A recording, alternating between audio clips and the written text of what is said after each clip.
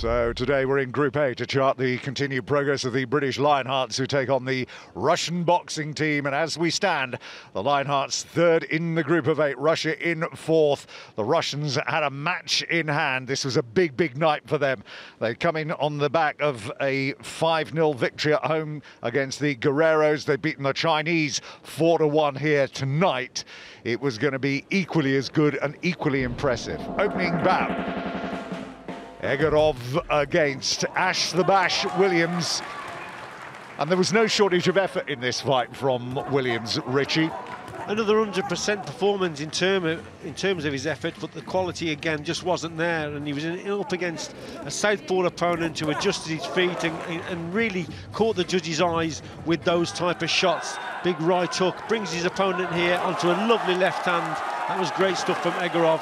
Williams, though, tough as old boot. He kept coming. He tried right towards, right to the end, but just walked onto that one there. And from another angle, just a peach of a punch on, on the chin.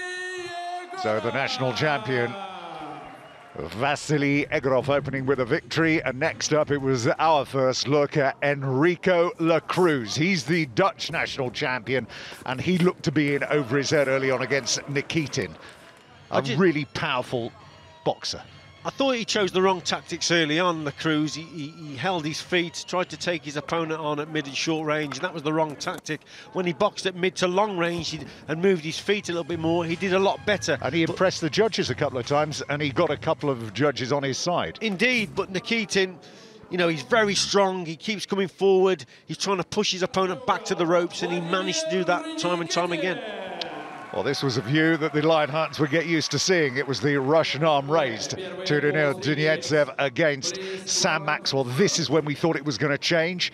Uh, Maxwell put in a good performance in the opening round, but he didn't get the decision. It went with the with the Russian, and it went all downhill. Yeah, a couple of good flashes from, from Maxwell, that left up there. But then, he, for me, he just switched off in periods in this contest where he held his feet and he made his opponent look better than what he was. Dunaytsev is a very strong guy. Southpaw sits back and really wings those hooks in over the top. But, you know, he makes a lot of mistakes, but he is strong, he is powerful, and he dragged Maxwell in and made Maxwell fight his fight. And the Russian came through. Strong performance, but disappointing for Maxwell. Yeah, he was two from two coming into this, and that is the first taste of defeat in this season. Next up, it was a big night for Daniel Woledge. He was making his debut as well, but the debut would not last too long because the, as we said, the debutant would feel the full force of Khamukov, another national champion. Yeah, terrific left hook there. You won't see many better left hooks delivered than that around the, his opponent's right hand there. Early on in the round, so Woledge was just caught um, cold in the headlights there, and then gets caught with a couple of big right hands and the British coach Walmsley throws the towel in, protecting a young boxer with, with a lot of potential. But tonight wasn't his night, and Khamukov, a good, dominant display. Yeah, a chastening experience then for Daniel Woledge. And another victory for Russia's boxing team. And then the finale, and perhaps the most dominant overall performance coming from the world silver medalist Tishchenko here. Uh, Diane, again, making his debut, the, the Frenchman for the Lionhearts here tonight. Uh, he started well enough, but again, he didn't build, and it was just a dominant display from the Russian heavyweight. Diane, I thought, fought well in spurts, but just got caught too many times. Tishchenko boxed well at range. He shows why he's such a, a, a classy amateur boxer. You know, this is over five rounds now, so it's a, it's a pro format. And he boxed very well indeed. He boxed well at range, he fought well on the inside, and yeah, he is quality. And as the contest went on, he just got stronger and stronger, increased the tempo, and Diane just walked onto too many at the end. And there it is, the arm raised. And it ended what had been an incredible night for the Russians.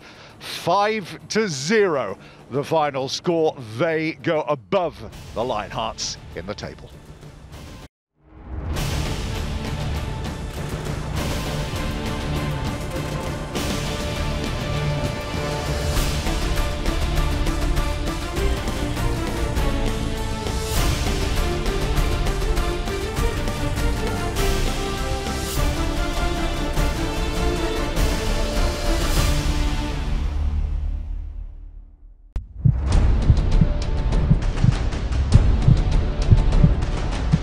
Ladies and gentlemen, welcome